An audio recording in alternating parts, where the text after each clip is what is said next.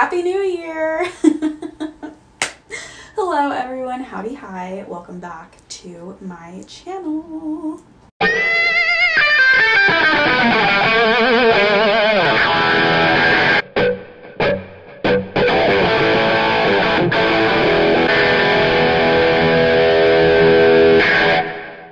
As always, don't forget to like, and if you make it to the end, dislike if this wasn't your vibe. Comment, share, click subscribe, click the bell, all the things. And for those of you who are very confused, I say Happy New Year because for most people it's spring. For those of us like myself who find themselves still in 20 to 30 degree weather, it's maybe going to be spring by May. And a lot of people talk about how this time of year is when everything becomes alive, everything becomes awake. There's a lot of chaos, there's a lot of disruption as things wake up again. And I feel most of us had heavy Marches honestly, if you're like me, January, February, and March have had their highs and lows, but there's something about April that really feels like you're letting go, letting God, seeing the light through the tunnel of whatever winter still was holding on to, and it just truly feels like you're shedding a skin and starting new. At least that's how it feels for me. So this is a bonus video I wanted to do. That's essentially a April reset, April print, hello, April planning. part one. So if this is your cup of tea, buckle in. There's going to be technically a part two where I do the full April monthly plan, all the things, but I think you all will enjoy this video as well. Because we're going to be talking about bingo. Y'all, bingo was bad. The way February was good, bingo was bad this month. I'm just going to go through because I feel like I prematurely marked off some of my bingo pieces and I shouldn't have. So for those of you who don't know, the bingo is literally where I make 25 spaces on a big poster board and I write out the 25 things I want to accomplish in the month, which may sound like a lot, but some of it's just basic habits and tracking that I set in my yearly goals, my monthly goals, my monthly checklists. In my journal for each month, I do a journal page where I just put this month bingo and the things I want to do that month.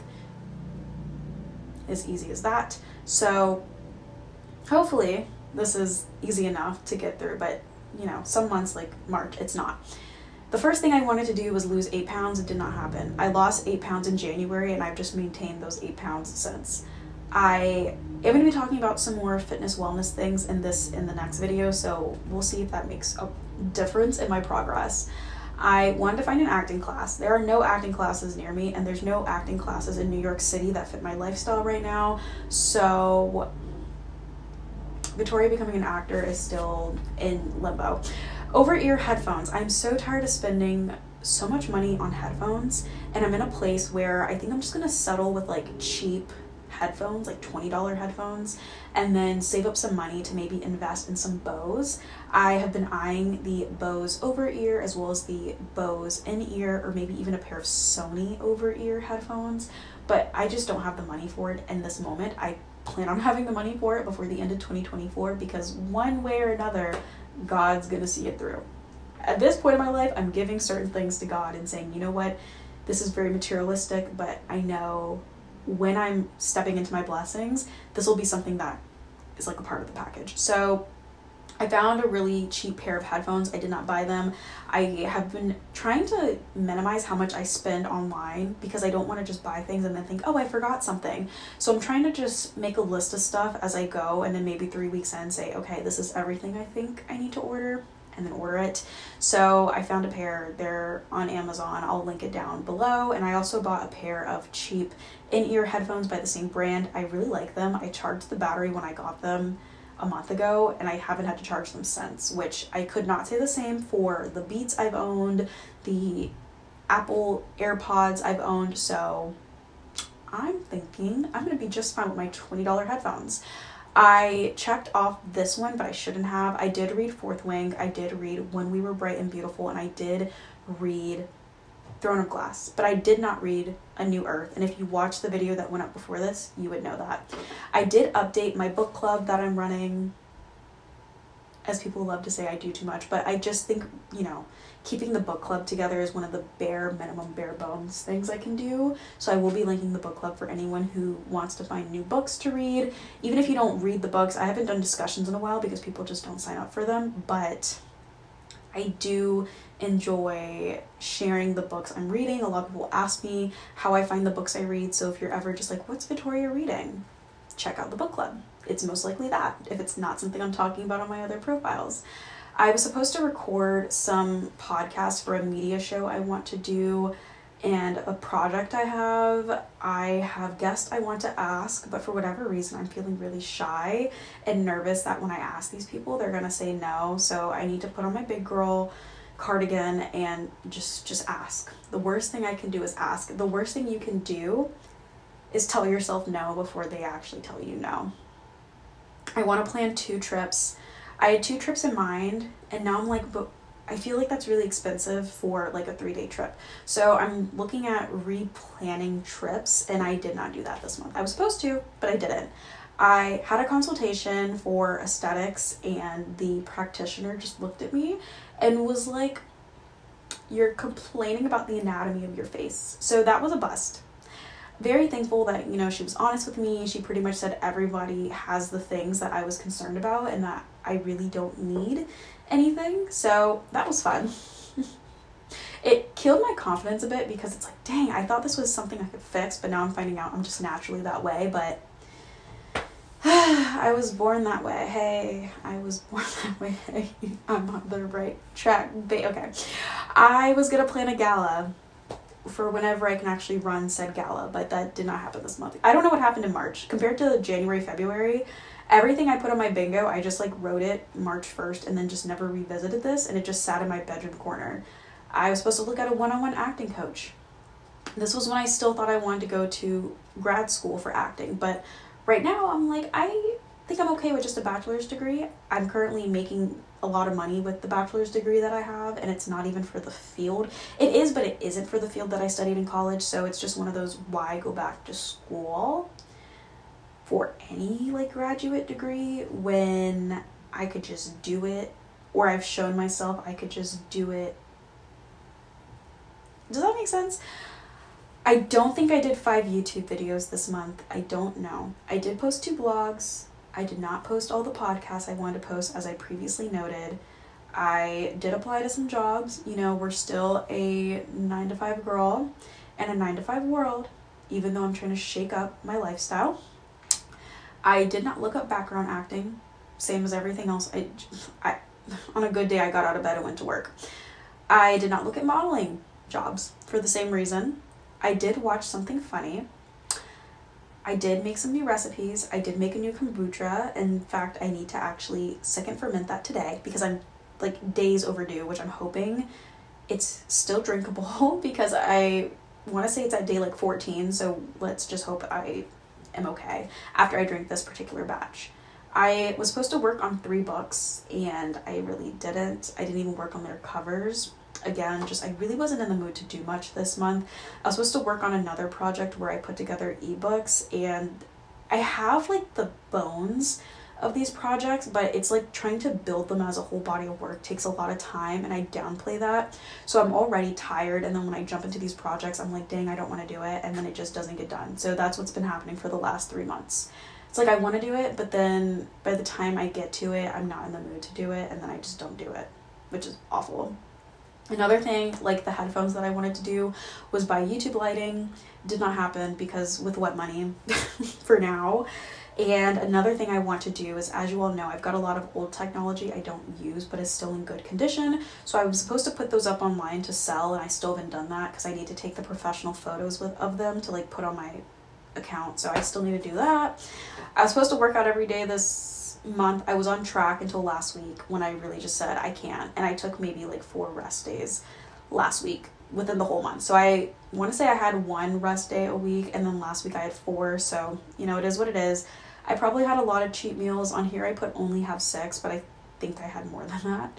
And then last but not least, I wanted to look into jaw liposuction. I'm going to save up money for that. Don't know when I'd be able to actually afford it, but like this has got to go it's got to go, it's got to go. So I just want to plan that out, research offices. Just look into it. I mean, it's one of those things where I've always said it. I would revisit this when I actually lose all the weight I want to lose just in case. But I have a gut feeling doesn't matter how much weight I lose, it'll be there. And so I need to have a plan ready to get rid of it. you know, I've ex- I've just accepted I'm already over budget for April. That just goes from the fact that I need clothes. It's getting hotter outside and I don't really own anything for my body. 80% of my closet is stuff that I used to be able to fit when I was a size 6 and I'm just on the hunt for some good affordable clothes. I'm looking at Old Navy. I've also been looking at H&M as well as a few pieces from Abercrombie. I did order some new Lululemon pieces on their clearance section and that's like a non-scale victory because I'm currently a size 10 in Lululemon and when I first started buying from their brand I was a size 12 but I'm not gonna lie sizing's a little wild because I recently bought a bunch of clothes in size 14 16 and it was too tight. So you can imagine trying to process the fact that you weigh less than you did the year before.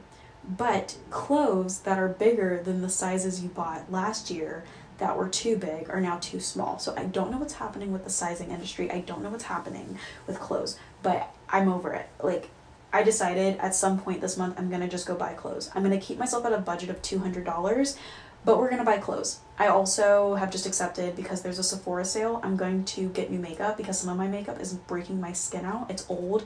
It's it's like a year old and that's when it expires and unlike the old me who used to use 5-year-old makeup, the new me is trying to take better care of her skin. So I'll probably go more into detail of like my plans and my budget in the next video, but just in this one, because especially a lot of the stuff that I'm spending money on is on my bingo card. So again, if you're watching the next one, you'll see what's on my bingo card for April. And just this is more of the disclaimer of I've already acknowledged I'm gonna be paying myself back in May. I don't have as many expenses in May, so where I overspent in like beauty and self care and honestly at this rate food I bought like three cheap meals and food is expensive. It's like 20 to 30 dollars a meal per person where I live, aka New York. So I've just accepted my budget plus the shopping I've done the last two weeks on food and little things like a new book and I got skincare and gave out as gifts and everyone loves it so I don't feel bad for spending the money. I've just accepted we, we are going to be spending more than we make this month, and that's okay. Another big focus reflecting on March is revisiting my routines because I have not done a single thing I said I was going to do, which is ironic because I usually do every single thing I say I'm going to do. And by that, I mean, I want to go to bed at a decent time. I want to wake up at a decent time. I want to actually show up for my workouts every day. I want to show up for my diet. I want to show out for my two things on my to do list a day. So, the way I said I didn't acknowledge my bingo at all in March, I'm going to be looking at my bingo and planning out each week with, okay, you have 25 things on here, even though some of them are going to be things like you know, no more than one cheat meal a week. That's easy enough to follow. It's not like I have 25 literal things I have to like get done in April. And just staying on track of that because those habits I established are what are going to help me maintain the progress I'm making as a person and they're going to keep me feeling as if I'm in control of my own choices and overall doing things that benefit me. So why keep sabotaging myself? You know? Something else I'm really prioritizing is focusing on how we're going to stay on track. So right now with my nutrition and fitness, that looks like revisiting my diet so that it includes 100 grams of protein. I saw a video on my Instagram Reels Explore page and a woman who lost roughly 150 pounds talked about how she really focused on protein and I'm wondering if I'm someone who also needs to do that. As you all know, I've tried and quit and tried again just about everything you can think of at this point and that's something I have not done. I have not really looked at how much protein I'm eating. We re-downloaded MyFitnessPal because I want to like really look at how much protein I'm intaking and the goal, at least I started it this week, is to eat 100 grams of protein a day. I do find myself feeling fuller. I'm not currently fasting like I was in January, so I'm thinking in April just putting another emphasis on the fasting schedule with the 100 grams of protein and seeing how that affects my mentality because as you all know I'm someone who emotionally eats so when I'm like getting a cheat meal or whenever I'm like straying from my diet it's because something external is affecting my emotions. So trying to just focus on that and hopefully fixing my diet in these ways will allow me to, you know, conquer the mental battle of not picking up food as a friend, but picking up food as a source of nutrition. Now, obviously, I let myself get a cheat meal every week, so it's not like I'm not allowed to eat things that I think are good.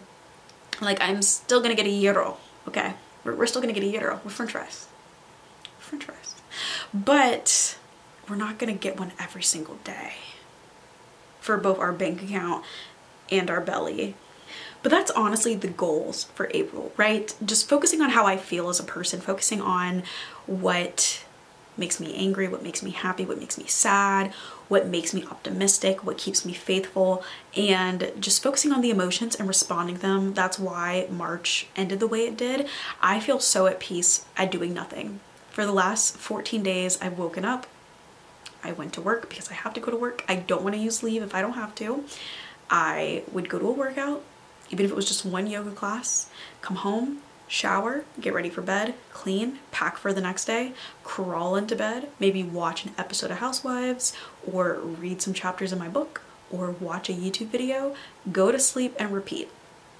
And as someone who's very productive, someone who has a lot of dreams, goals, aspirations, as you all know, someone who's trying to do so much and feels like Alexander Hamilton as he's portrayed in the musical Hamilton.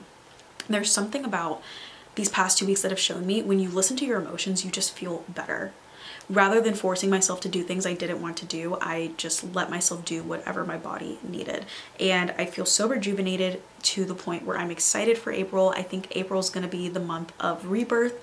Again, it's the new year. We're going to be talking about all of my revisitation of all the goals, all the things, and the second part of this saga in the next video where we really do the April planning and budgeting and like really getting in there. So I'm very excited to share that with you all. I'm very excited to go over what that looks like for me and how you can apply it into your own life.